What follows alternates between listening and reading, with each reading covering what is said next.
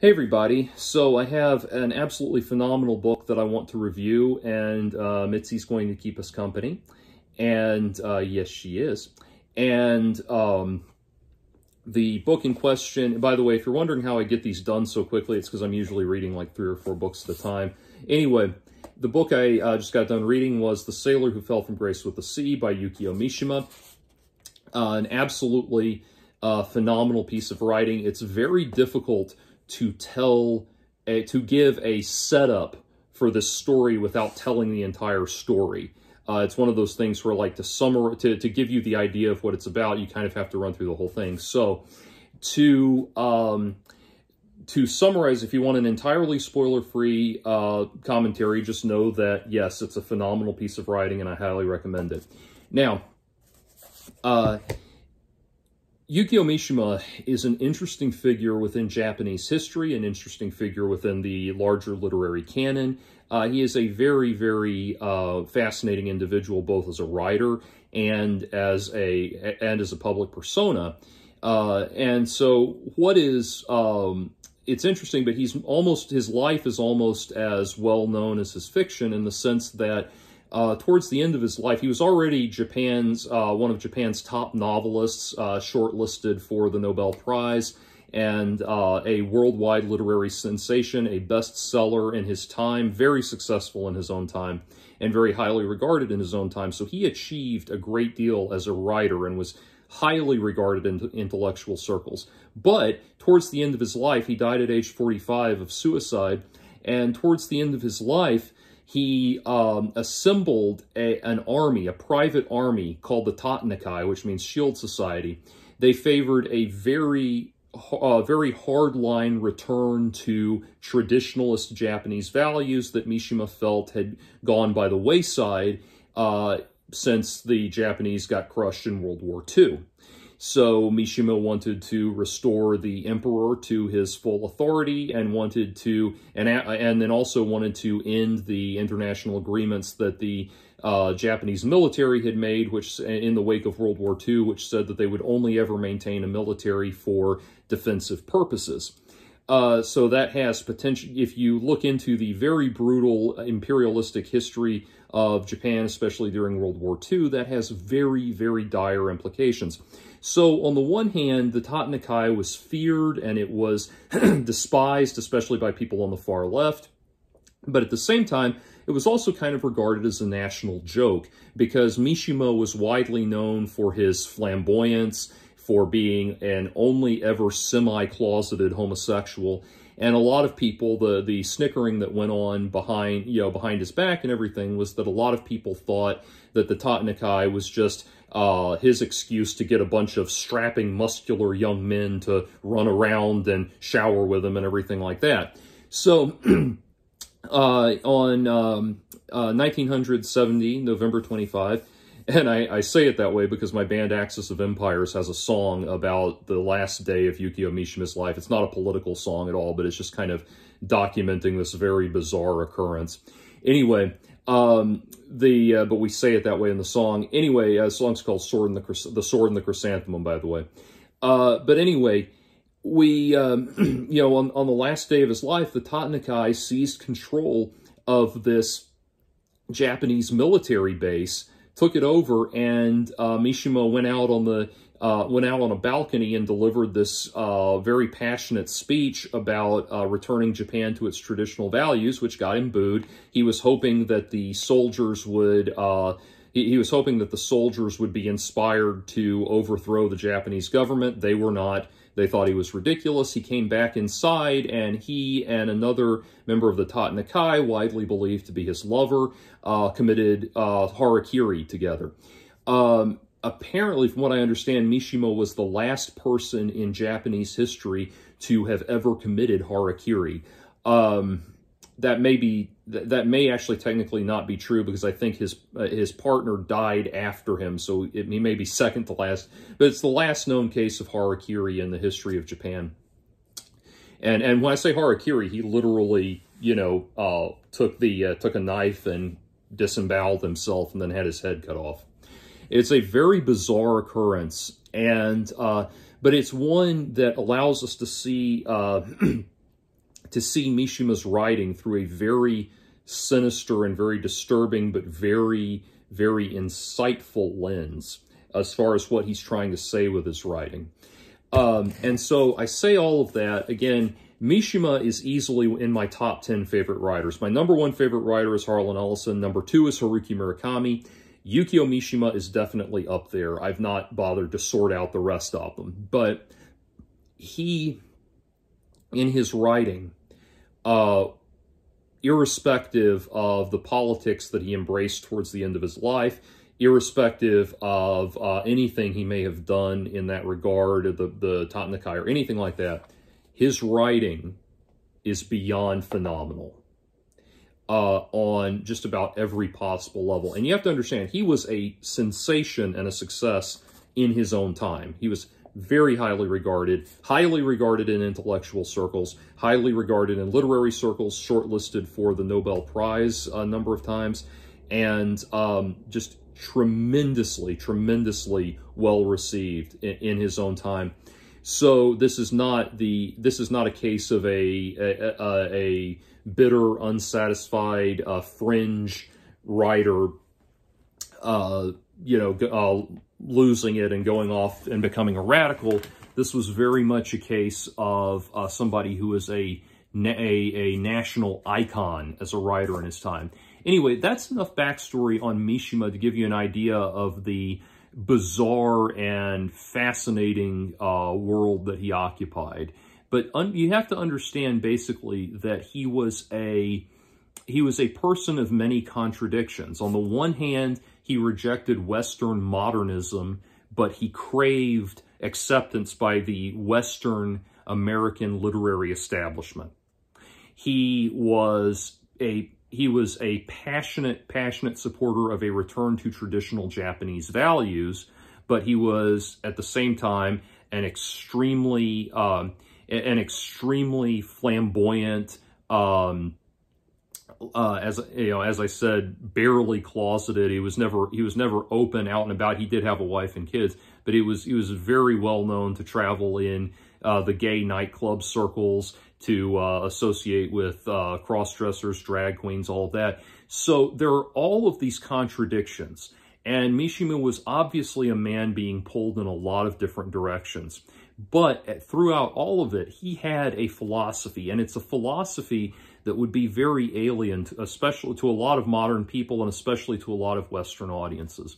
But one of the things, and I realize this is all a, pre a long preamble before I'm telling you anything about the actual book, but one of the things that Yukio Mishima believed was that a person should die when they are in a state of physical perfection. He believed that your entire life is leading up to the moment that you die, that how you die is the most important thing in your life. And this is not some passing, uh, you know, edge lord idea. He really did believe this. And the thing is, that sounds very bizarre to us today. But if you stop and think about it, if you took that, if you took that philosophy to the samurai, if you took it to the soldiers of ancient Rome, uh, cultures like these, uh, the you know goes for the Vikings and all of these very warlike societies and everything.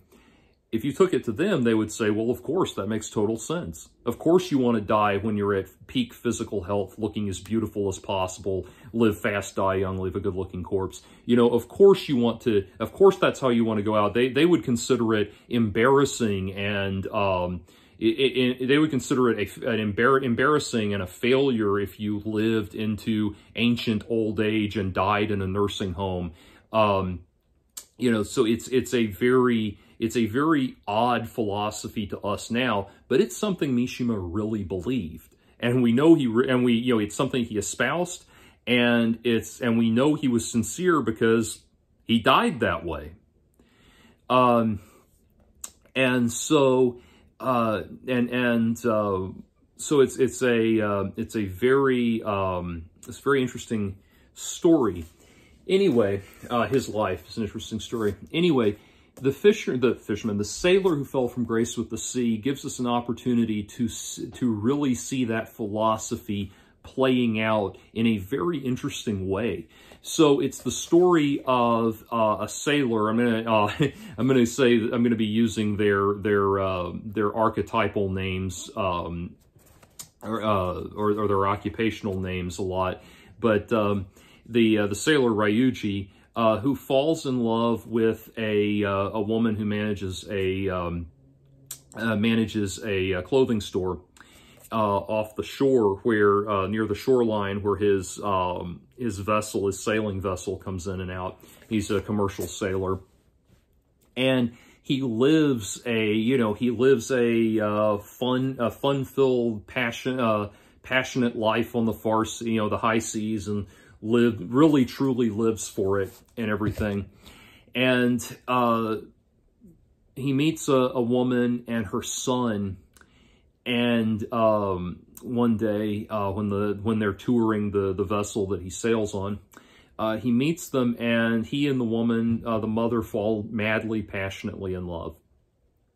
And Mishima is excellent at presenting a very sumptuous surface level narrative about the uh, about the sailor and the mother falling in love he does this. Uh, is the uh, the mother. He they do a um, uh, just a wonder. He does a wonderful uh story, a wonderfully eloquent, beautiful story that really lulls you into a false sense of security. The boy, uh, on the other, and the son, on the other hand, Noboru, is um, a member, he's uh, about 13, and he's a member of a gang of ju uh, junior high school gang uh, full of 13-year-old uh, boys who deeply and uh, deeply and uh, sincerely reject and distrust everything to do with the adult world, and it is um, it, it's a very they're they're uh, they are ruled over by a, um, a, gang leader who's only ever referred to as the chief, and they reject um, they reject the adult world as being superficial and illusory and a giant lie and a giant uh, a giant sellout. They're like a, a militant, a psychotic militant version of Holden Caulfield's worldview or something like that.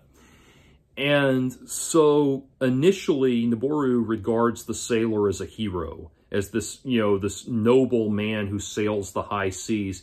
But then when it turns out that uh, the sailor is going to be marrying his mother, his uh, attitude changes very quickly. And uh, that he and his friends conspire to kill the sailor. And I just told you about 90% of the story. So the thing of it, or 90% of the overall story. So the thing is, this is not a story that you read to find out what happens per se. This is a story that you read to get into the process, the thought processes of these characters. And what's interesting, this is why I say it's interesting that Mishima is so good at lulling you into a false sense of security about the mother and the sailor coming together and making you think that that's the primary thrust of the story, that that's that, that this is a love story and they're coming together. He really does a good job of diverting you. Now, I already knew where this was going because I'd already seen the movie, but he does do, if you never read it, an undeniably good job of taking your focus off in that direction.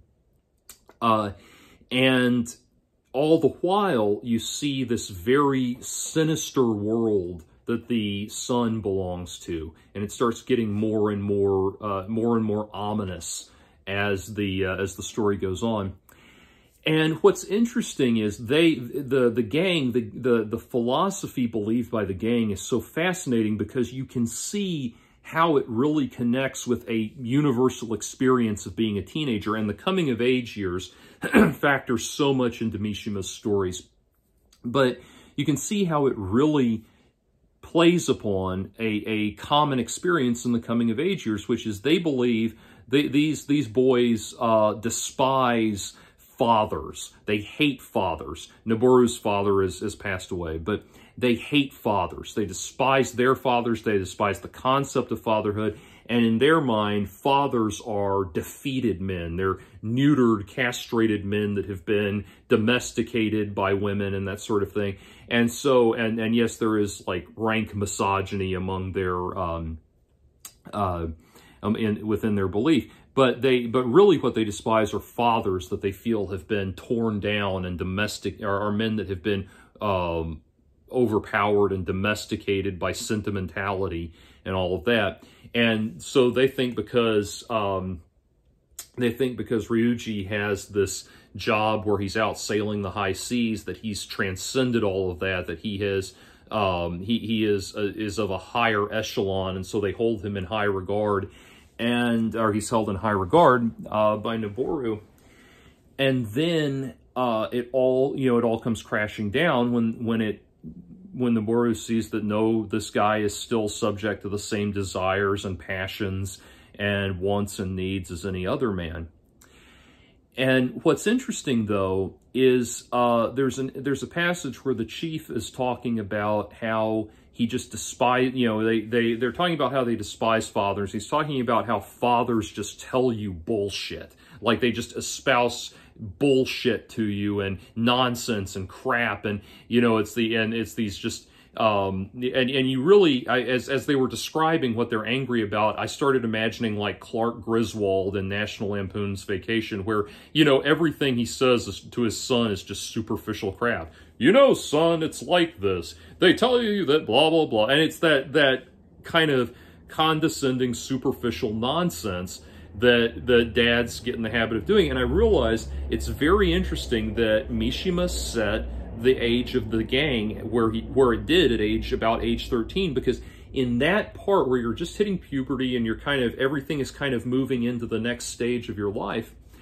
he is uh, you know he's pointing out you really do realize at that point that's when you start to push away from your parents because you start to realize oh wait my parents my you know you start that's when you start pushing back against your parents. You start realizing that adults are not perfect. You start realizing that they've just been they, that they're not perfect. They're not sent from on high. They're just telling you the the the, the they're telling you whatever crap is going to get you through the day and kind of you know and it's it's not they're not really giving you an authentic they haven't been giving you an authentic experience. They've been interacting with you in, in the in terms of a persona, and that's a real thing that we all a real realization that we all uh, encounter and we all come to terms with. And so I think it's so interesting that Mishima takes that uh, that as an opportunity to explore, you know, the idea of kids really a group of kids who really and truly feel betrayed by that, feel like the um, uh, feel like the adults are not being honest with them, not being authentic with them, and, and carrying that anger and that frustration to the point of being murderous, of wanting to kill. And I think it's so interesting because, you know, we talk about epidemics of school shootings and things like that and teenagers driven to violence. And I think that the, I think that Mishima really has a finger on the pulse of something of that feeling like the world is not being honest with you, that betrayal, that some people don't cope with that well. And I think he really captures something uh, brilliant there. The thing is, though, and again, I, I keep saying if you, um, you know, this is a spoiler heavy story, but what's interesting to me is, you know, what's, what's the most ominous thing of all is that it's heavily, heavily implied um, it's never, I, in, in, the story, it's never made clear to Ryuji what this gang that his uh, soon, soon-to-be stepson belongs to. It's, uh, it's never made clear to him what it is they believe. But in terms of his own internal monologue, as he's reflecting and he's thinking towards the end of the book, he is coming, he comes into agreement with their philosophy, in, in essence. Uh, he has, he, he, he finds himself at the end of the book in a headspace where he is of the same mind that they are. He has realized, you know, they've both been looking, they, they've both been on either side of this thing living lies. You know, Noboru has been living this lie and, and he has been, um, throughout the story, one of the one of the first things that's emphasized, I don't want to give too much away, but he has a, a problem with voyeurism that gives you an idea of uh, the the super the the lie that he's been living. But he's been living this childhood lie, and uh, Ryuji's been living this adulthood lie, and in a very ominous and very dark and very disturbing way, they meet in the middle at the very very end of the book. And so, again, it's not, a, it, there, there's more to it, obviously, than that. The story's more elaborate than that. Uh, and there are certainly surprises along the way that I won't give away. But as far as the overall concept of the story, uh, it, it, does not diminish your, your enjoyment of it to know all of that. Um, and again, this is very much a story that you read for the sake of the writing itself. Mishima, this is what's so interesting to me. Mishima is a uh, is a prose writer par excellence, and there is something almost um, intrinsically Japanese about his writing, where he he has that very meditate this very meditative Zen-like quality in the way he describes things. You get this feeling that no matter how intense the action is, the narrator, whoever is telling us the story, uh, they they have never left a very calm, zen-like state, and it really creates this very ominous atmosphere to experience that. His descriptions are beautifully worded, and it's so interesting because he can describe things in such a way that it just paints itself in your mind. You know, I can see exactly the the shipyard and the harbor that he describes and the, the um, high-end clothing store and all that. I can see all of that stuff that he describes beautifully all of that imagery is described beautifully. But what's so amazing is within that, there's this extraordinary economy of language. And this is what's interesting where um, I don't know if you, I don't know if conservative is a good word to describe Yukio Mishima's politics. I mean, he was very radical, you know, radical traditionalist might be the best way to look at that. But, uh, but there is that conservative element in his writing in a very a very appropriately applied way where there's this wonderful economy of language where he just he does not he you never feel like he's had to embellish anything. You always feel like he's just described everything with tremendous restraint. But within that restraint he says exactly what he needs to just make the image form in your mind. And that is that is a perfect example of why he's such a stunning highly regarded writer in that regard. And this this book is full of um, uh, full of writing uh, like that. Uh, I have another. I got another one of his books recently um, called Life for Sale, which I think only just became available in English, and uh, I'm going to read that one at some point in the near future too. Um, I think that's actually that's touted as being a comedy, so it'll be very interesting to see where that goes. But um, anyway, his, that that writing style, that precise rhythm of the language, if you haven't experienced it, that alone is worth reading his books. The only and that that holds up throughout the through the translation too. You know, a lot of translations, the the English translation becomes uh, clunkier, you know, and that kind of thing, and, and, and stiffer and, and that sort of thing. Not the case here. Even, and, and his, um, his widow uh, actually oversaw his estate and oversaw the translation of his books after his death and just made like damn sure that, and he, uh, in his life, he sat down with a translator. Um, it was this woman, I can't think of her name, but she translated, um, a lot of his, uh, a lot of his books while he was still alive, sat down with her. He spoke fluent English and he sat down with her and made damn sure that everything uh, was translated perfectly because he was craving that um, that acceptance by the American literary establishment.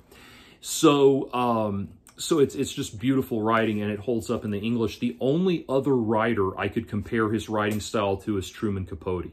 Like Truman Capote accomplishes the same thing. Is the probably the like the the American equivalent of Yukio Mishima in my mind.